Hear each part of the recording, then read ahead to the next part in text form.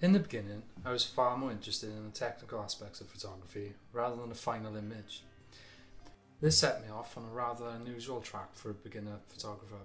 I was shooting a lot of film back then, and the only way I could really understand things and progress was to shoot images at night in my local streets. The lamppost would illuminate the scene every night the same way, so I could revisit the scene over and over whilst taking notes and dialing in my knowledge of how the technical choices would affect the final image.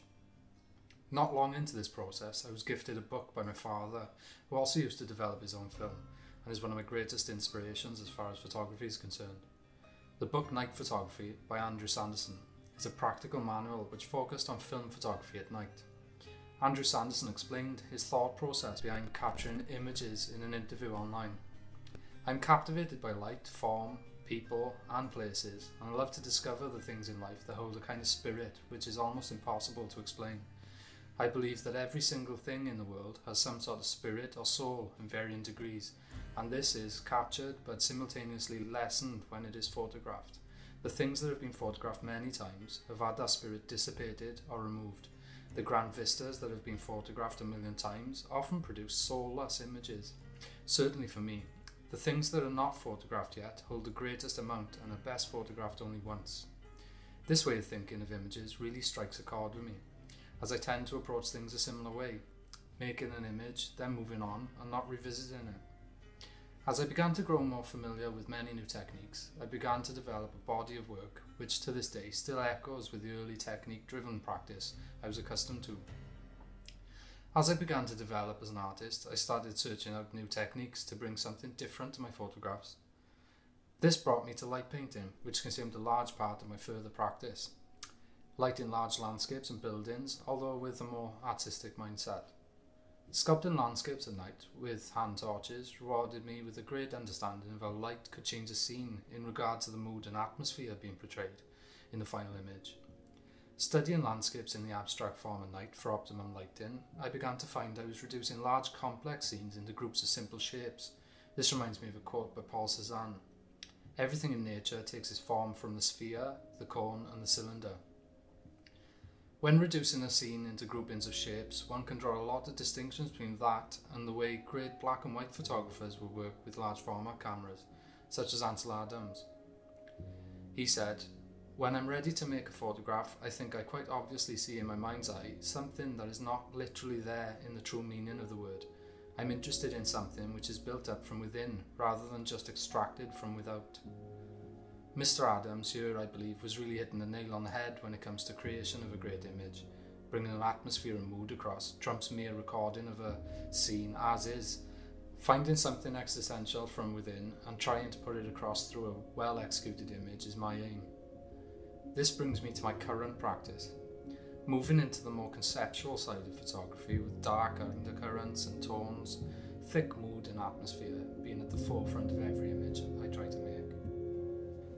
During the COVID pandemic lockdown, I decided to create a series of cinematic images that took a conceptual look at the effects of emotional well-being during that period. One of those shots, Smothered, was published in Frames magazine, and the author Rob Wilson is quoted as saying this about it. Michael Need's Smothered is a dark science fiction thriller. Michael Crichton's The Andromeda Strain and Stephen King's The Stand immediately spring to mind. This photograph is apocalyptic stuff. The potential for the end of the world is on the floor, wrapped in a plastic bag. The end of the world is nigh and is lit in an eerie green. There can be no doubt that this is a perfect image for the pandemic.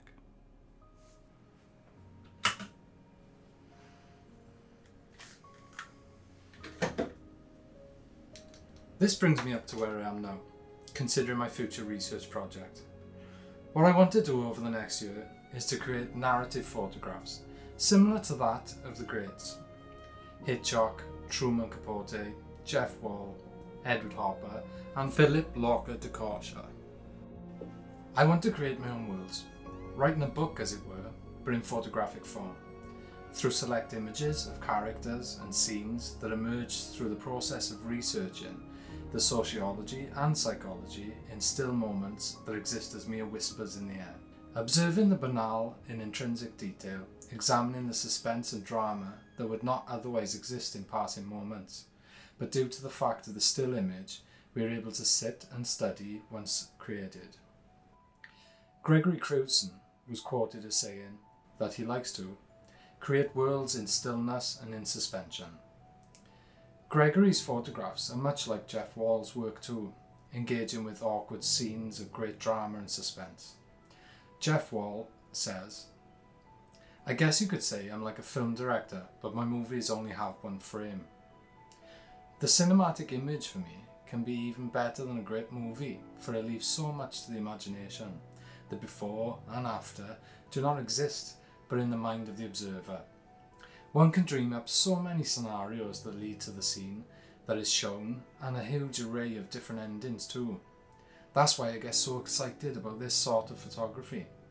A great cinematic image can spur a thousand movies in one's mind.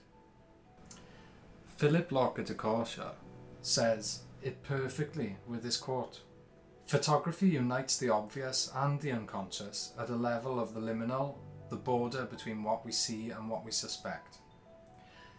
This is where I see my photographic practice situated. Each frame, a moment of time that has been frozen, yet still moves in the observer's mind. He goes on to say, Psychology is a reality for many people. I try to show this. It may not, in fact, be the actual psychology of the subject I portray, but it is played out in the image and the projection of that psychology into the surrounding space. Their image is the outward facing front belied by the inwardly gazing eyes. Maybe I should end with a quote from Edward Hopper, great artist, who had an amazing skill of painting these in between moments of time that I'm really interested in. If you could say it in words, there would be no reason to paint. I think you could say the same thing about a well produced cinematic photograph, also. Thank you for watching.